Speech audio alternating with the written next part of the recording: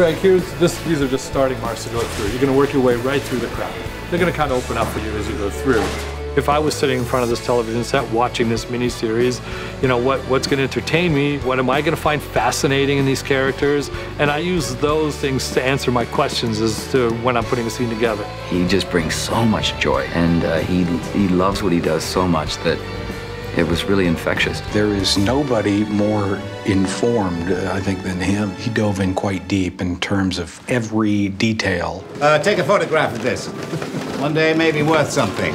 I think at some point you have to realize that you're not going to replicate history exactly the same. But we are going to make all the best efforts we can to do that. But then the important thing is to make sure the story you're telling is fascinating, is, is compelling, uh, and is new.